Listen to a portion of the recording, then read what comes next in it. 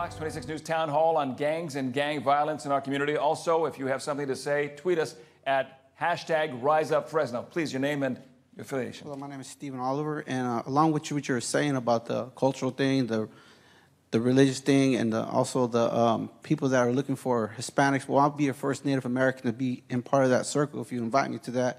I would love to be that because I'm a, I'm a testimony myself. I did 20 something years in the system. I broke that cycle. I became a believer in the Lord, and that's the only way that I'm going to get through my life is because of my Savior.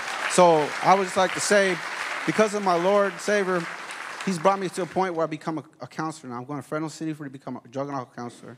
You know, and to get back to the youth, I think it needs to start in the sixth grade level, somewhere in that era, because I remember that age very well. If someone takes someone like me, my job skills and skills that I have in arts, whatever, I'll be part of that. I would love to give my community that. I would love to teach the youth a better way instead of the wrong way. You have a new volunteer here.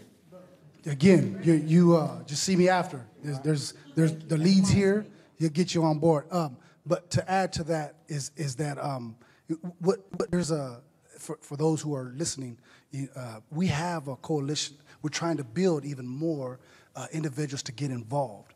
You know, giving us ideas, uh, resources, and so forth.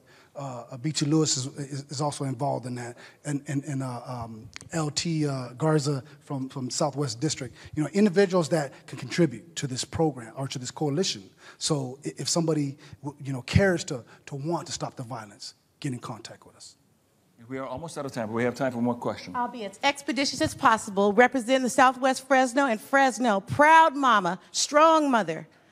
Have four children. My son graduated from Fresno State on a full ride. Also had an offer to West Point. Chief Dyer, Sheriff Mims, Pastor Lewis, and you, sir. Thank you and God bless you for what you're doing. But the most important entity that so many people forget that is the role of the mother and the power of the role of the mother, not the weakness of the mother, but the strength of the mother, the courage of the mother, because the mother's a praying mother. And I lived in every single Southwest Fresno gang area deliberately to let the neighbors know, to let the hood know, because my grandfather owned property in every one of those neighborhoods, that I refused to let my sons become gang members or casualties and go to college and have faith and live without fear and trust in the Lord because no weapon formed against against us shall prosper. Wait, wait.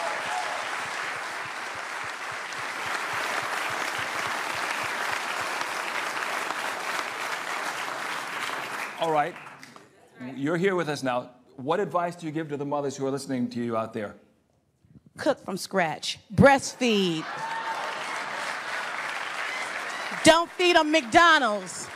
Have them exercise. Make their homework that's due on Friday, have it done on Monday night, and then refresh and review. Because when they go to college, if they're a student athlete, they're not going to have a lot of time. And so they're going to have to know how to be disciplined and allocate their time. And I want you, I implore all of you to start working with our young people that made choices in these areas. Not, not to have hired people that come and outsource Use our sources that we hear, our resources, our young people here. My son has a bachelor degree and he doesn't have a job here. That's a shame. That's a shame. He had he could have went to West Point, but I always through little league and everything I said, "Son, you're going to be a hometown hero. I want you to be be here for your little brother." My younger son graduated from San Joaquin Memorial. My daughter that's over there started college at 15. She works for the government so she can't be seen, but she's here anyway.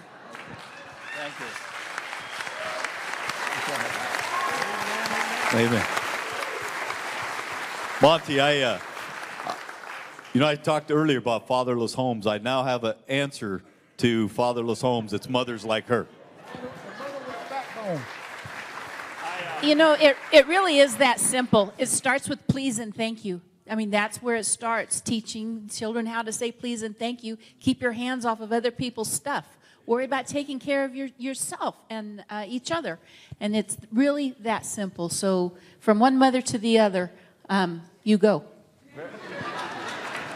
Test. Very encouraging. I don't know that we can implement all those suggestions, but uh, great, I mean, some great suggestions there. We have run out of time. This brings to a close our campaign page Fox 26 News Town Hall.